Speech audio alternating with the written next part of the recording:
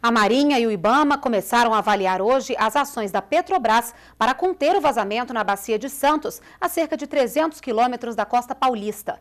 Pela estimativa da Petrobras, vazaram mais de 25 mil litros de petróleo. Segundo a estatal, após o rompimento de uma coluna de produção, o sistema de segurança fechou automaticamente o poço.